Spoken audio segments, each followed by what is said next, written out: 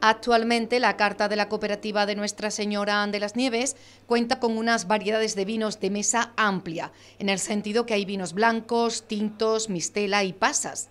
También está la gama del vinagre.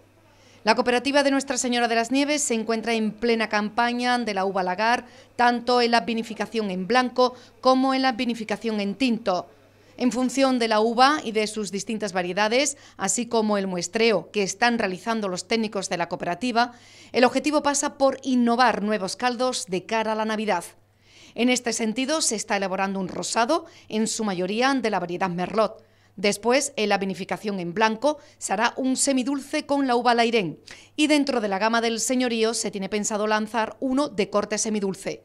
Si las previsiones acompañan, estos nuevos caldos se presentarán oficialmente de cara a la campaña navideña. La gama o la carta que tenemos, la de vinos blancos eh, seco, eh, la que está denominado el Señorío de las Nieves, el tinto, eh, michela y después dentro de la gama de dulce está el paza también. está también el, vinagre, que son productos de aquí de la cooperativa y este año, en, función de la, de la vendimia, la, planificación y la, idea que tenemos, en función de la uva y las variedades que hay y el muestreo que hemos estado realizando, eh, la idea era innovar un poquito, eh, hacer algunos productos nuevos y terminada la fermentación de los tintos, en su mayor parte la, variedad Merlot, eh, hemos extraído eh, para hacer un producto nuevo que es el rozado. Eh, vamos a hacer una pequeña prueba este año a ver qué aceptación tiene.